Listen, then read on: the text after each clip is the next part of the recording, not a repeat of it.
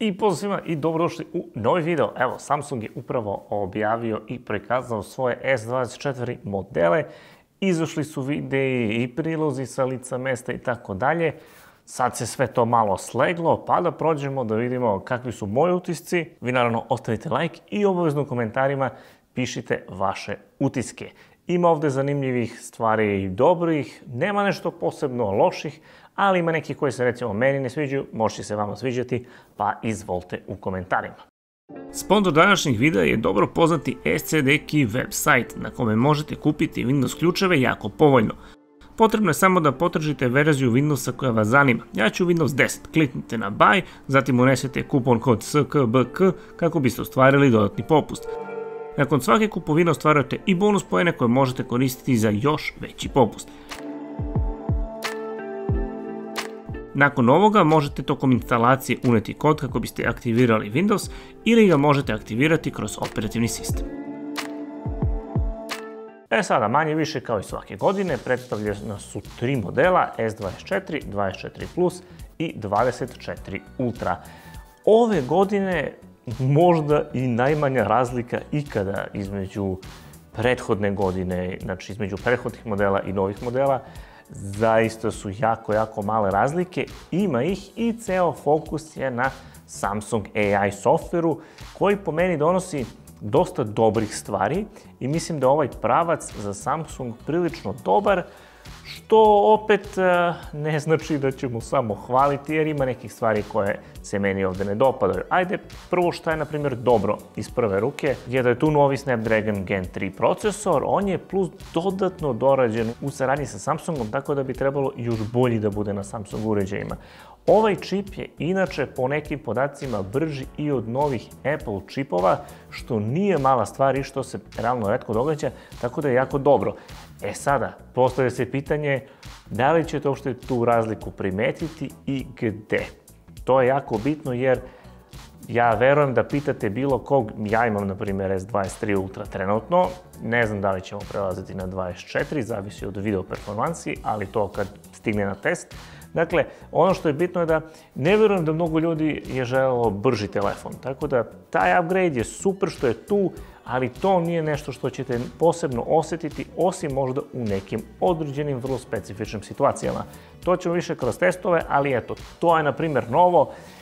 Promenjena je kamera na Ultri, pre ste imali onu 10x telefoto, a sada imate 3 i 5x i tako dalje. Tu je nekih promena došlo, a sada je ta kamera 50 megapiksela, ranije je ta sa najvećim zoomom bila manje, pa je onda slike su malo bile lošije. Da li će ovo ispraviti, ali opet sad imate manji zoom, opet te neke stvari realno moramo vidjeti kod testa. Prva stvar koju želim da kažem od ovih negativnih je to što su apsolutno u potpunosti skopirali iPhone. Znači, ne znam, ovo mora budete čoravi da, da se ne vidi, ali bukvalno S24 je identičan kao iPhone. Znači, jedina razlika što su kamere jedna ispod druge, a ne kao throwdown na iPhoneu. Ne znam zašto to.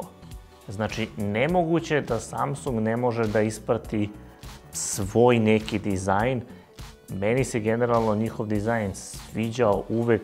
Možda je to bilo na neki način slično kao iPhone, ali ovde bukvalno izgleda identično. Dakle, napred ravno, nazad iste ivice od iPhone-a, znači bukvalno možete staviti jedno pored drugog i da ne primetite razliku, samo da ne gledate u kamere. Ne sviđa mi se to iz više razloga. Prvo, Samsung ne mora to da radi. Samsung je po meni vrlo često imao čak i mnogo lepši dizajn od Apple-a, I zašto, ovde mi deluje kao da su nekako, kao, kao da prihvatite poraz, pa kao, ne vredi, ne znamo mi to, da iskopiraš što ovi drugi rade. Mislim da nije dobar pravac, mislim da nije dobro da svaki telefon izgleda identično.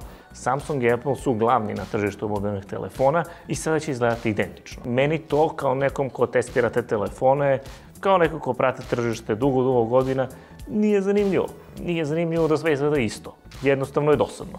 A, pogledajte, spomenut ću Asus ovde, iako Asus nije možda neki ono veliki brend u svetu mobilnih telefona, ali pogledajte šta rade. Znači, menjaju dizajn, ima zanimljivih stvari. Pogledajte i Vivo, pa i Xiaomi. Sve te kompanije rade nešto sa dizajnom. Ovo što je Samsung sada uradio je kao kao da su rekli ne znamo mi to, evo vidjet ćemo šta radi Apple, pa da uradimo isto.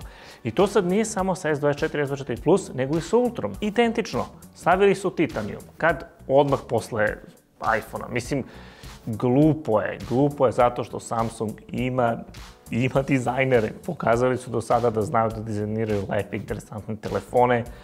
Ne znam zašto ova, po meni ovo delo je kao, opet kažem, kao predaja, kao eto, radit ćemo šta rade drugi. Sa druge strane, a, još kad smo kod negativnog, još jedna negativna stvar, S24 Ultra je skuplji od iPhone-a. Dakle, S24 Ultra je skuplji od Apple-a. Uvek je bilo, aha, Apple fancy ovaj, samo kupuju ovi bogataši da se pokazuju, ali sad je ultra skuplja.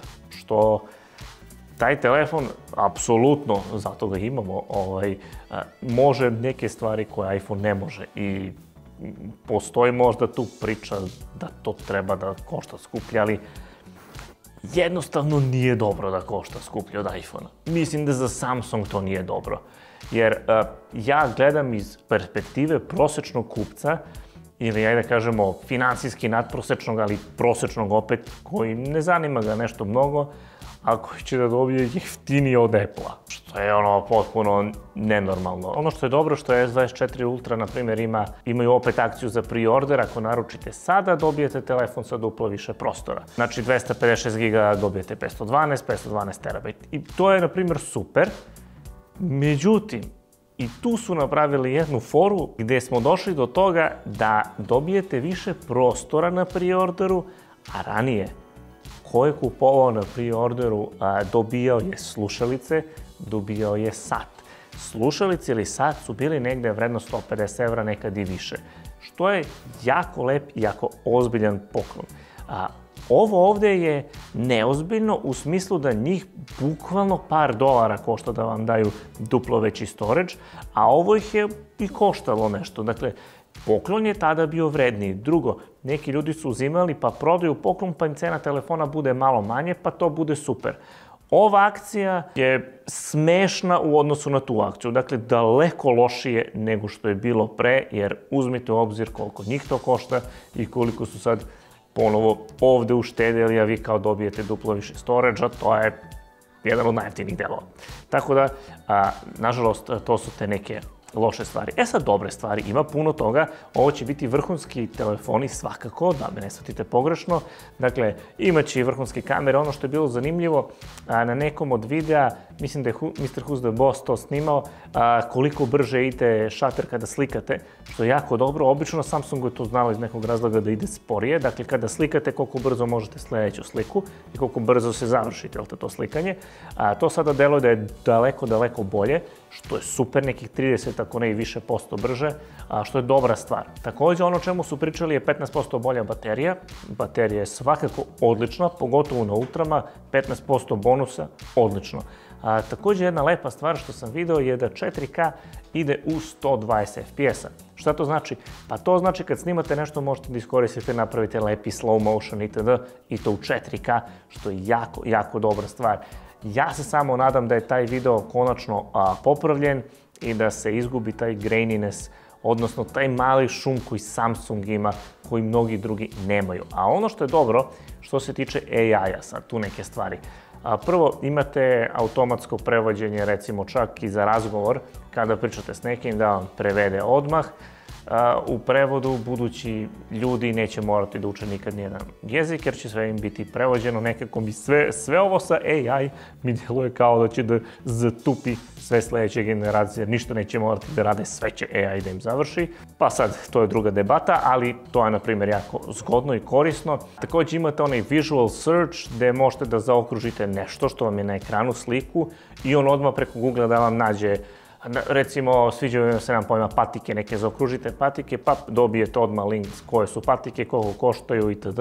ili bilo što drugo što možete da vidite takođe. Dakle, jako korisno. Ovo, su stvari koje ima, na primjer, Pixel i koje su sad stigli u Samsung, što je jako, jako dobro za Samsung, jer Pixel je počeo malo da se izdvaja sa tim stvarima, ali evo Samsung je uspeo da pokupi te neke stvari može da bude stvarno korisno. Dalje, imate onaj voice recorder, snimate glas, E sad, imate da vam to odmah prebacuje u tekst i ne samo to, nego da vam napravi ceo sažetak. Znači, za studente odete na predavanje, upalite snimanje ili ode jedan na predavanje, ostali ostanu da spavaju, svi dobiju sažeto sve što je rekao profesor. Dakle, vrlo, vrlo korisno.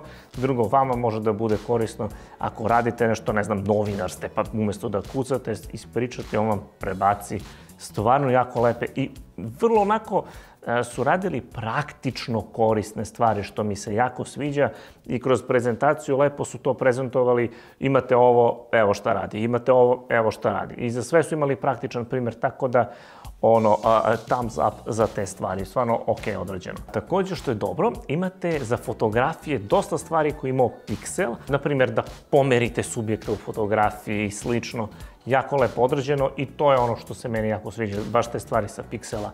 A, I to mislim da je super opet kažem, vrlo konkretne stvari su radili, možete da vam popravi fotografiju i slično. Dakle, jako, jako dobre stvari što se tiče tih nekih AI poboljšanja. Opet, dosta stvari će tekstizati. A, bukvalno onako u interfejsu pojavit će vam se ikonice ove Samsungove kao zvezdice, da znate da eto tu nešto AI može da vam pomogne da vam uradi i slično, što je ovaj generalno super. Tako da, otprilike to je to. Moji utisci su update hardvera, relativno dosadan, ništa posebno novo. Ne sviđa mi se što se tiče dizajna da izgleda kao iPhone. Dizajn mi se sviđa kao dizajn, ali mi se ne sviđa da se ide u tom pravcu.